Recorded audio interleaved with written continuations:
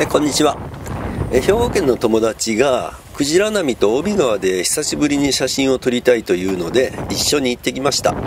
まあ、その友達なんですが良い撮影スポットにケーブルが張られてしまったという情報をインターネットでね入手したらしくて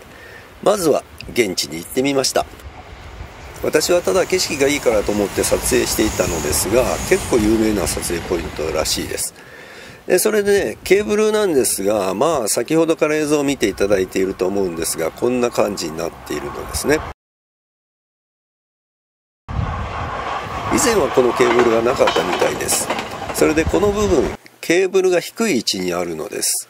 ケーブルの高さを見てみると近江川よりは河川中の一番上に設置してありこの状態なら撮影には問題がないんですね。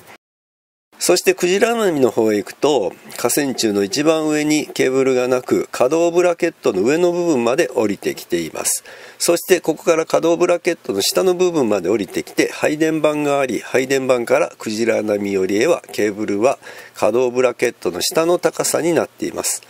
そしてここで1スパンだけね可動ブラケットの上に上がってまた可動ブラケットの下の取り付け部分の高さになり配電盤が設置そのままの高さで、えー、トンネルに入っています。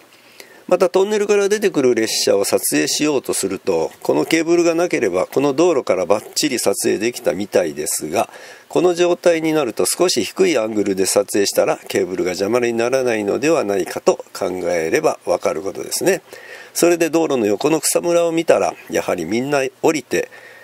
撮影しているみたいで踏み跡がついていました。じゃあちょっとね私も草むらに降りてみたいと思います。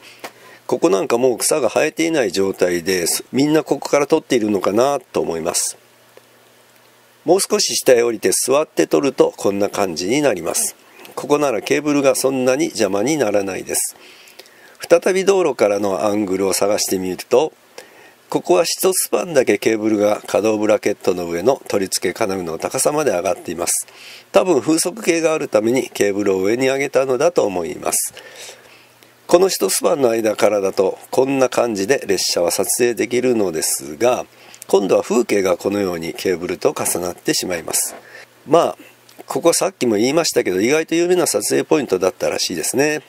ビデオだとそんなに気にならないのですが写真だとやはりケーブルが邪魔になるみたいで友達は散々文句を言っていました。でもケーブルはね必要なもので仕方がないと思うのですが私はこの金網が邪魔だと思うんですね。でこの金網がなければどこでも撮影ができるのに撮影できる場所がこの金網のために一部となってしまっています。金網の手前には鉄の棒でできた柵があるのですがこれだけではダメなのでしょうか？またこんなところに歩道橋があるのですがこの場所は海に行く人が多いみたいですね。この部分には線路横断禁止の看板があるのですがどうもこの場所が線路を横断する場所みたいですね。ということで昔に比べて鉄道を撮影するのもだんだん大変になりつつありますね。もっとも走る列車もあまり魅力を感じないのは私だけでしょうか？それではこの後は2021年5月に撮影した列車。そして6年前2015年の1月に撮影した列車。さらに25年前1990年に撮影した列車。さらにその7年前1983年に撮影した列車の映像で終わりたいと思います。